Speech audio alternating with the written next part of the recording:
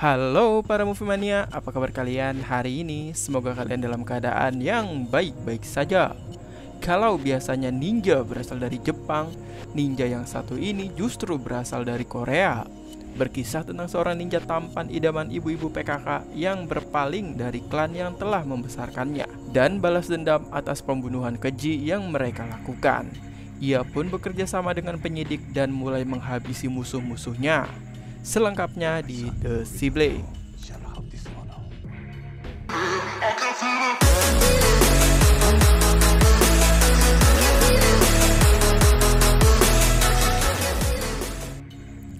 Sekelompok Yakuza sedang berkumpul di sebuah bar di Jepang dan ketua mereka sedang melakukan proses tato tradisional yang menyakitkan. Hal itu membuat sang bos marah dan mengintimidasi sang kakek pembuat tato. Tak lama kemudian salah satu anak buah Yakuza tersebut datang membawa sebuah amplop misterius yang berisikan satu kibik pasir hitam dari Kali Ciliwung. Hal itu tiba-tiba membuat sang pembuat tato ketakutan dan merinding disco. Akan tetapi bos Yakuza yang tidak tahu apa maksudnya itu malah mengira hal itu sebagai sebuah lelucon. Sang pembuat tato pun menjelaskan kalau amplop itu memiliki arti sebuah pesan kematian. Anggota Yakuza yang tidak percaya pun hanya bisa meledek si pembuat tato hingga pada akhirnya apa yang kakek itu takutkan menjadi kenyataan. Sekelompok ninja misterius datang dan menghabisi seluruh anggota Yakuza dengan begitu sadisnya. Kakek yang melihat hal itu pun hanya bisa takut sekaligus kagum ternyata mitos tentang keberadaan ninja itu benar-benar ada. Kisah berlanjut dengan cerita masa lalu di tempat rahasia di mana para ninja ini dilatih dan dididik.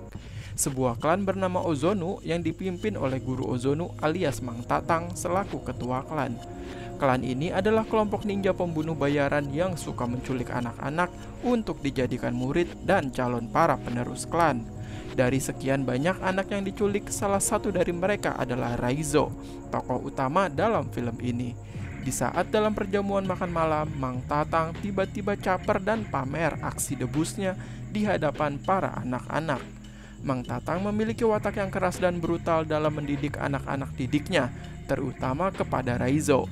Mang Tatang mendidik Raizo lebih keras daripada anak-anak yang lain dan memperlakukan Raizo sangat tidak manusiawi. Sudah seperti majikan Arab kepada TKW asal Indonesia yang selalu pulang dalam keadaan kalau nggak rahimnya anget, ya babak belur.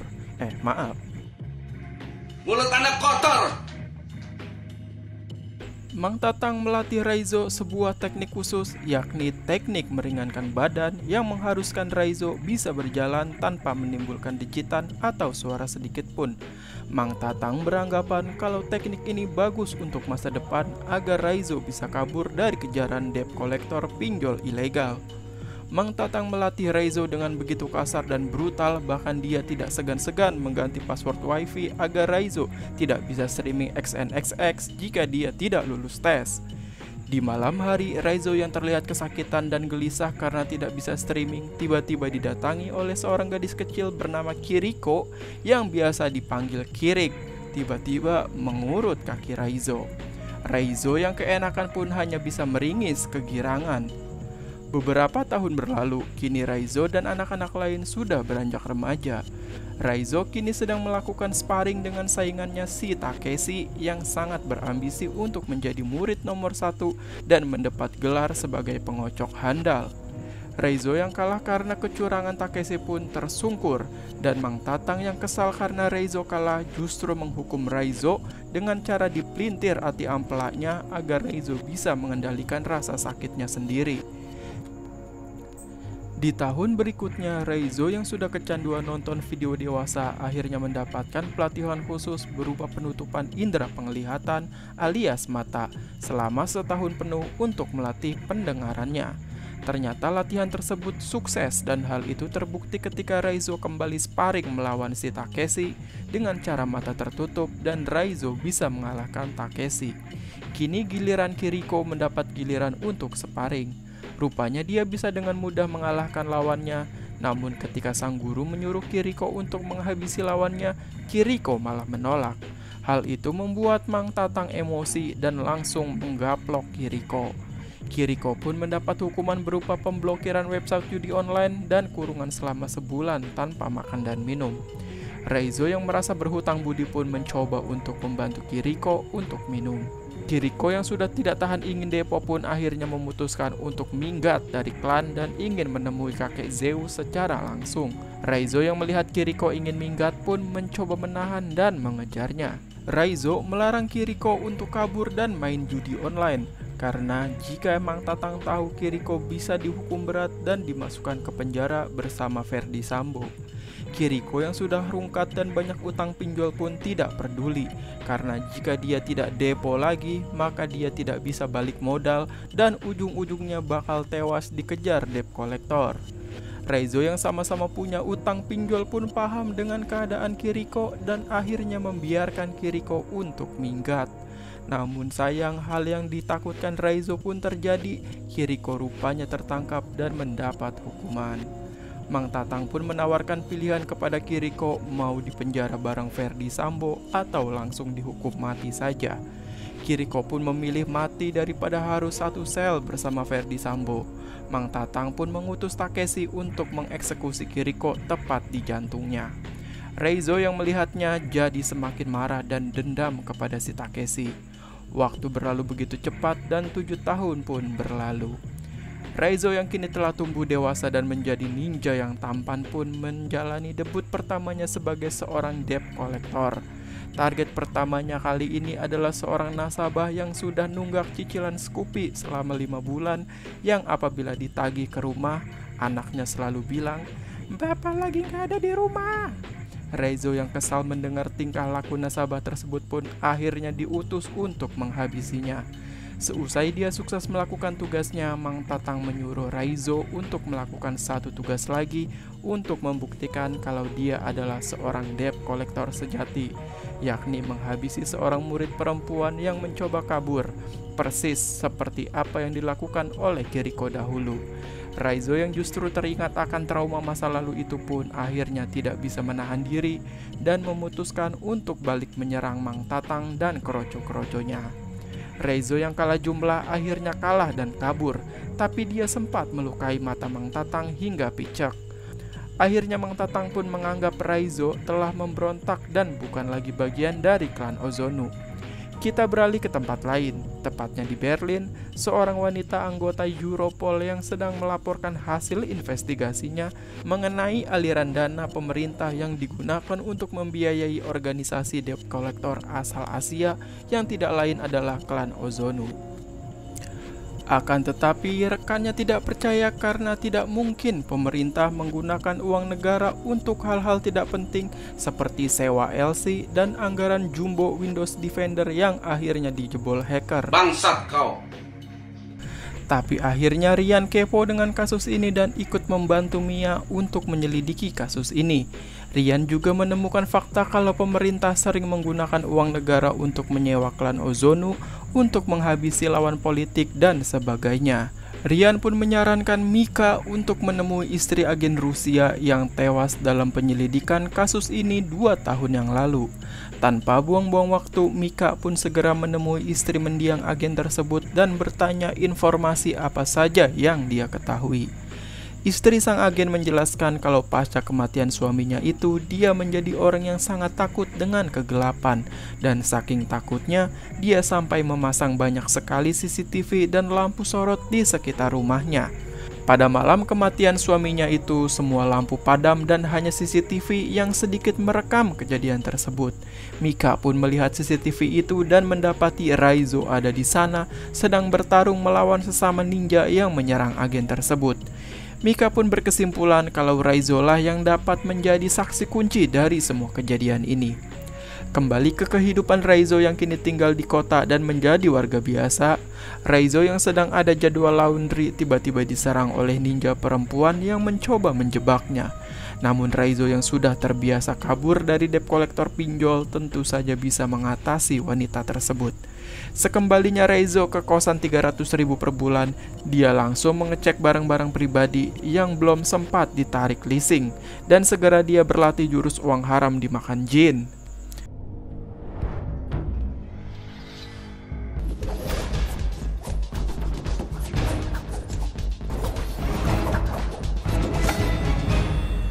Meskipun Raizo sangat membenci Mang Tatang, tapi Raizo bersyukur berkat Mang Tatang dia bisa menguasai banyak jurus dan bisa bertahan dari kejaran debt collector sampai sekarang.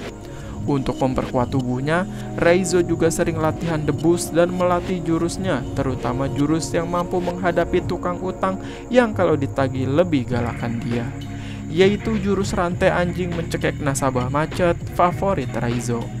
Sebenarnya Raizo bisa saja kabur sejauh mungkin untuk menghindari para debt collector, tapi rasa sakit akibat ditinggal modar si Kiriko, orang yang dia cintai akibat ulah para bandar judi online, membuat dia berambisi untuk membalaskan dendam kepada para klan Ozonu, terutama Mang Tatang.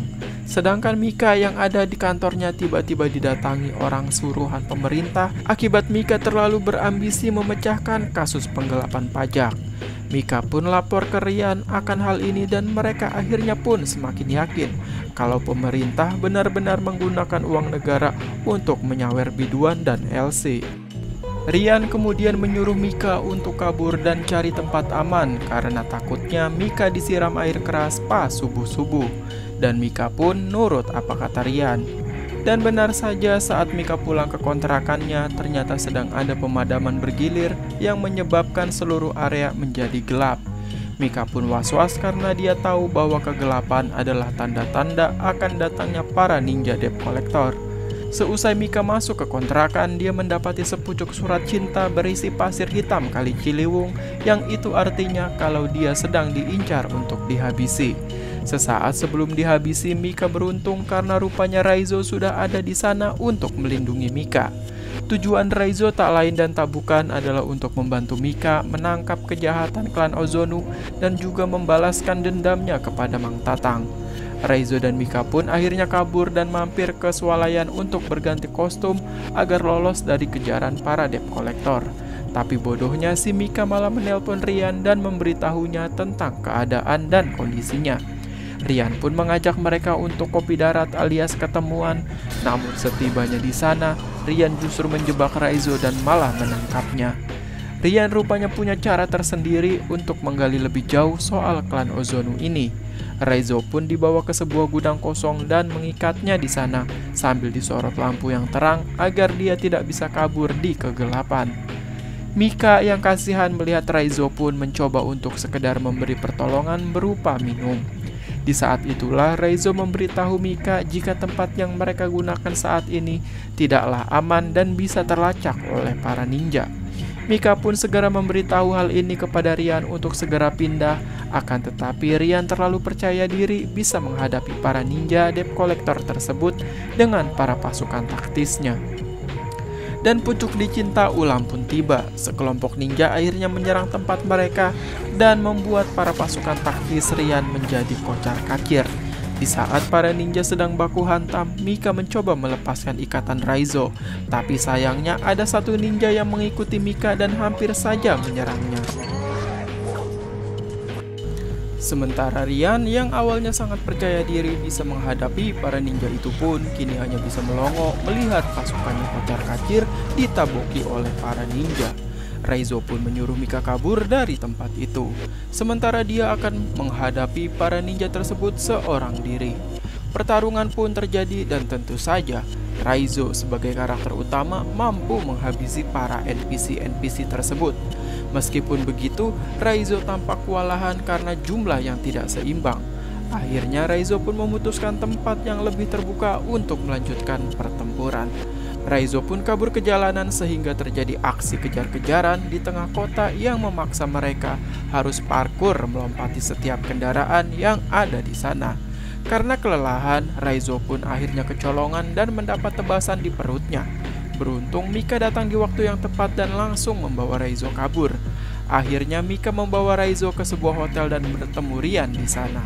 Mika dan Rian sepakat untuk meninggalkan Raizo di sana agar ditangkap oleh para ninja. Namun mereka memasang alat pelacak di tubuh Raizo agar mereka dapat mengetahui di manakah tempat persembunyian para ninja klan Ozono. Raizo pun akhirnya dibawa oleh para ninja untuk diserahkan dan dia dimasukkan ke dalam sebuah peti besi. Selama perjalanan, Raizo melakukan jutsu terlarang yang mampu menjadikan dirinya sembuh seketika. Bahkan luka bekas sayatan pedang di perutnya bisa rapat sendiri tanpa harus dibawa ke tukang jahit.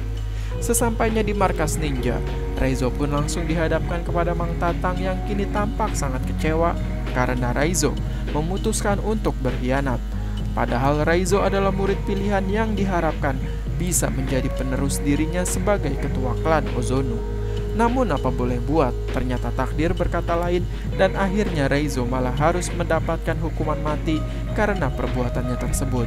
Raizo pun dibawa ke hadapan para ninja untuk dieksekusi. Namun, sesaat sebelum eksekusi, Mang Tatang menghukum Raizo menggunakan jurus rogoh ati ampela yang menyebabkan alat pelacak di tubuh Raizo keluar saat ia batuk darah. Takeshi yang melihat benda itu pun langsung tersadar. Namun, serangan pasukan taktis Rian seketika membuat para ninja kocar kacir. Meskipun para ninja tersebut hebat-hebat, namun apabila berhadapan dengan Basoka, ia tetap saja meledak bosku. Sementara itu, Raizo yang sudah diselamatkan oleh Mika pun memilih untuk langsung mengejar Takeshi dan Mang Tatang untuk membalaskan dendamnya. Raizo akhirnya bertemu dengan Takeshi dan para anak buahnya. Mereka pun baku hantam menggunakan pedang dan juga rantai anjing andalannya. Akhirnya Takeshi pun bisa dihabisi dengan jurus rantai anjing pencekek nasabah. Kini giliran Raizo mencari si Mang Tatang. Namun sialnya ternyata Mang Tatang memiliki jurus bayangan yang dapat membuatnya muncul dan menghilang, seperti kawan lama yang ingin meminjam duit. Raizo pun sempat kewalahan dibuatnya, bahkan dia hampir saja dibuat menghadap bapak yang di atas. Namun beruntung sesaat sebelum Raizo dihabisi oleh Mang Tatang, Mika dengan pistolnya datang dan membuat Mang Tatang menghilang. Alangkah terkejutnya Raizo ketika Mang Tatang tiba-tiba muncul dari belakang dan langsung menusuk dada kiri Mika menggunakan pedangnya. Mika pun seketika ambruk dan Raizo semakin menjadi emosi. Dengan kekuatan emosinya tersebut, Raizo tiba-tiba saja menjiplak jurus Mang Tatang untuk menghilang. Kini giliran Mang Tatang yang ketar-ketir dibuatnya. Dan seperti yang sudah kita tebak, akhirnya Mang Tatang pun tumbang dihabisi oleh Raizo yang kini sudah overpower. Seusai perkelahian, Raizo yang membawa Mika keluar dibuat kaget ternyata Mika masih bisa bertahan hidup akibat letak jantungnya yang ternyata di sebelah kanan. Saat semua akhirnya selesai, akhirnya Raizo pun memutuskan untuk pensiun dari dunia leasing dan berhenti menjadi seorang debt collector. Karena Raizo lebih cocok gabung menjadi member grup boy band daripada harus menjadi tukang pukul. Satu pelajaran penting yang dapat kita ambil dari film ini adalah agar kita tidak coba-coba untuk main judi online, apalagi pakai uang pinjol ilegal untuk depo, karena bukannya win strike malah rungkap yang ada dikejar oleh debt collector. Sekian, terima kasih.